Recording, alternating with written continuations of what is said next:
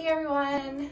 My name is Sarah Johnson and I'm a pediatric occupational therapist and part of the infant development team here at Emerge Pediatric Therapy.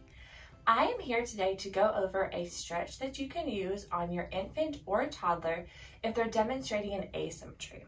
So what exactly is an asymmetry? An asymmetry is any time that we use one side of the body more than the other for a motor movement that requires both sides of the body to be working the same. So typically with asymmetries, we might see it in sitting, where an infant is not activating both sides to sit upright, so they're kind of leaning towards one side. We might see it in crawling, if an infant is doing a three-point crawl instead of a crawl on all fours. Sometimes infants also do a butt scoot, which can show an asymmetry and some tightness. And we can also see this when infants are starting to work on pulling to stand. So it might be a preference for always pulling up with one leg or always cruising in one direction. The reason we want to address the asymmetry is because if that asymmetry continues, the infant actually ends up strengthening one side more than the other, and that furthers the preference for that one side over the other. So one easy way to address this is actually through a trunk stretch. And I'm gonna walk you through how to do it on yourself first, and then how to do it on your infant or toddler. So for the stretch, you just wanna be seated. You're gonna put your arms out in front of you and you're gonna rotate your trunk to both sides and see which side either feels easier or which side you go farther to.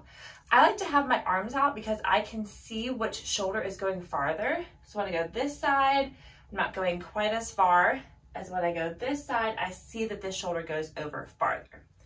For this exercise, once you find the easy side, you're actually gonna stretch towards that side.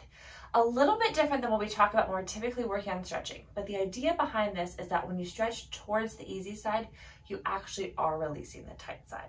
So for this exercise, I would stretch to this side for two to three minutes and hold that position as long as it feels comfortable.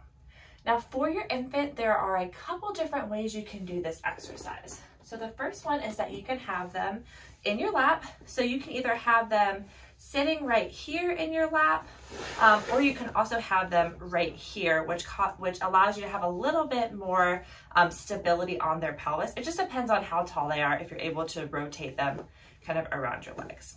So for this exercise, you're gonna do the same thing you've just done you, but you're gonna do it on your infant. So you're gonna have them sitting right here. You're gonna rotate to each side. For this infant, we're gonna say that this was the easier side.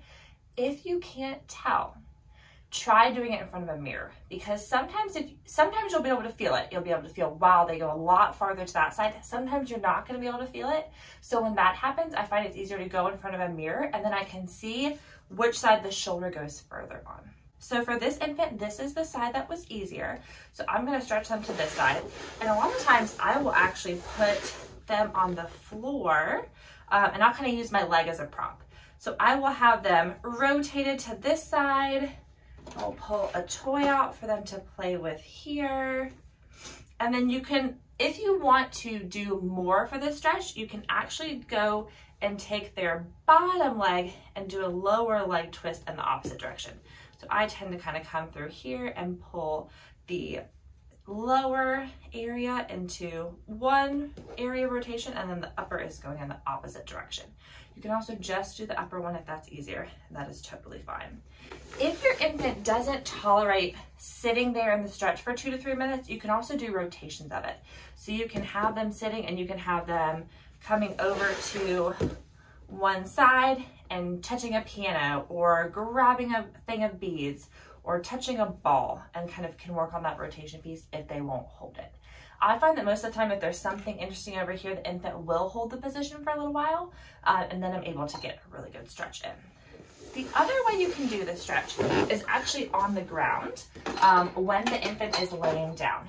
And for this one, you're gonna bend their hips up, you're gonna hold their knees with one hand, and then you're gonna rotate the body to each side. So you're gonna rotate here, you're gonna rotate here. On one side, the shoulder's gonna come up like this, And typically on another side, the shoulder stays down. The side that the shoulder stays down would be the easier side. So we're gonna say that this side the shoulder stayed down. So I'm gonna rotate towards this direction. Um, and you can have toys up here to entertain baby, um, or you can be singing and kind of talking back and forth with them.